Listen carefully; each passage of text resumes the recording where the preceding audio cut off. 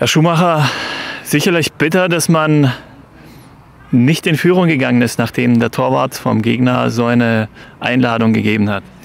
Ja, das ist richtig. Wir haben äh, eine relativ gute Torchance gehabt, aber ich glaube, das war auch unsere einzige Torchance in dem Spiel. Wenn man die vielleicht genutzt hätte, wäre vielleicht das Spiel anders gelaufen. Aber vom, letztendlich war es ein typisches 0-0-Spiel. Götzinger hat auch in der ersten Halbzeit eine riesige Chance gehabt, wo der Robin Hartmann alleine auf der Torwart zugelaufen ist. Zweite Halbzeit hat man sich neutralisiert. Und äh, ich glaube, Götzinger hat einfach dann letztendlich ein bisschen mehr investiert und ist vielleicht auch dann glücklich als Sieger vom Platz gegangen. Können Sie heute zufrieden sein? Nee, ich bin nicht zufrieden, weil man nach dem Sieg in Busenbach äh, wollte man heute einfach den nächsten Dreier einfahren und man hatte viel zu viele Ausfälle bzw. viel zu viele individuelle Fehler, um letztendlich dann auch hier zwingend zu spielen und dieses Spiel dann auch äh, gewinnen zu wollen. Das war die erste Niederlage gegen ja, Ihren Ex-Spieler und jetzt Trainer von äh, Krötzingen. Ähm, bitter sowas oder nimmt man sowas sportlich?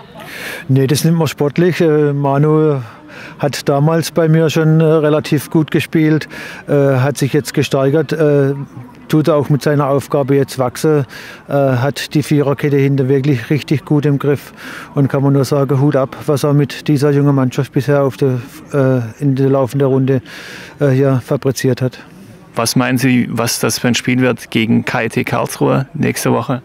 Ja, das gibt der nächste Hochkaräter natürlich, KIT. Die sind vorne dabei. Wird man sehen, wie sie jetzt das nächste Spiel gestalten bei Südstern.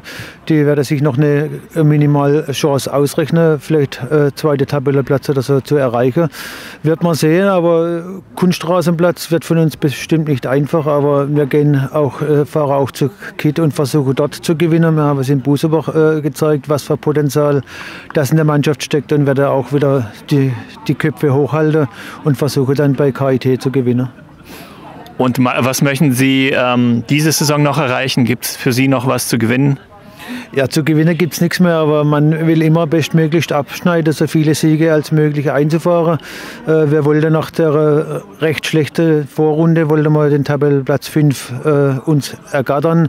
Ist vielleicht nicht mehr machbar, aber wir werden trotz alledem versuchen, so gut als möglich abzuschneiden.